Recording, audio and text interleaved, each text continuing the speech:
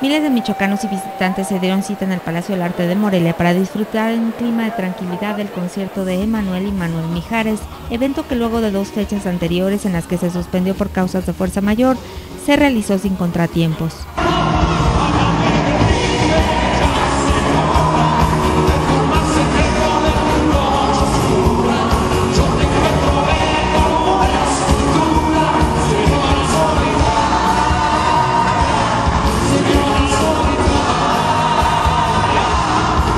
Canciones como No se murió el amor, me acordaré de ti, Tengo amor que llora triste, Rey Azul, Ella, Pobre Diablo, Quiero dormir cansado y Soldado del Amor, ambos artistas hicieron gala de su voz privilegiada y talento.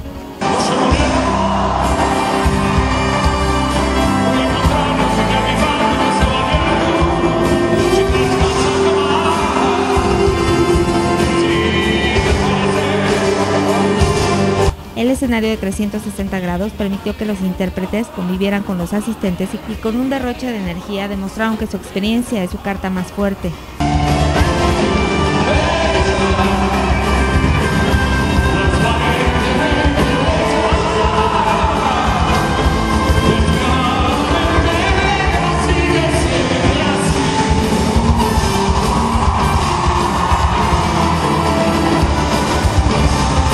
El público en el que se encontraban jóvenes, adultos y personas de la tercera edad brindó generosos aplausos en recompensa a la pareja de grandes y a su espectáculo que como una de sus canciones al final dejó manifiesta la razón por la cual se mantienen a través de los años como favoritos de las diversas generaciones.